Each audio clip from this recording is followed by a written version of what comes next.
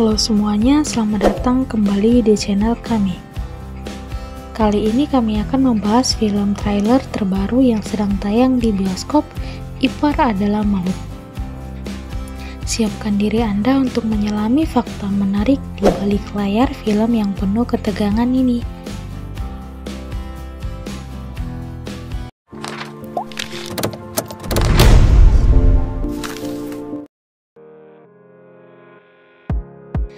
Film bergenre drama ini ternyata diangkat dari kisah nyata seorang followers dari konten kreator Eliza Shiva di TikTok.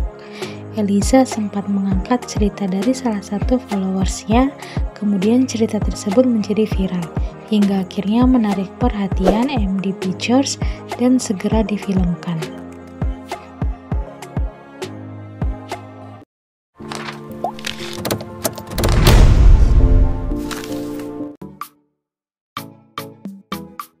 Sebelum menjadi film, Elisa lah yang membuat judul Ipar adalah Maut yang terinspirasi dari Hadits. Bunyi Haditsnya adalah Janganlah kalian memasuki wanita tanpa mahram. Hadits ini menggambarkan betapa berbahayanya jika seorang ipar lawan jenis tinggal bersama sebuah keluarga kandung kakak sendiri yang telah dibangun dengan janji suci.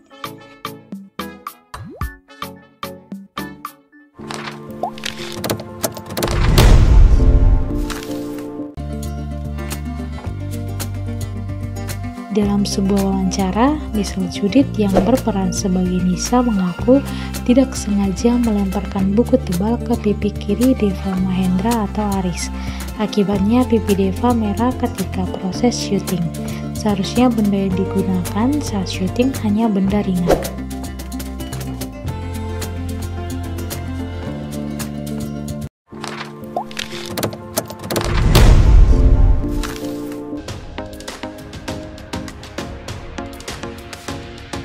Film ini memiliki dua soundtrack original yaitu Tak Pantas dan Tak Selalu Memiliki.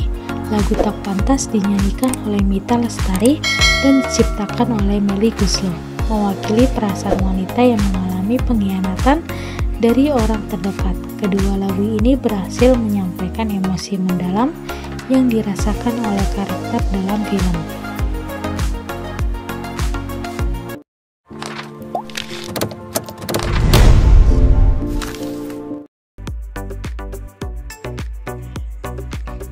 Film ini penuh dengan adegan emosional, salah satunya adalah perdebatan besar antara Rani dan Nisha.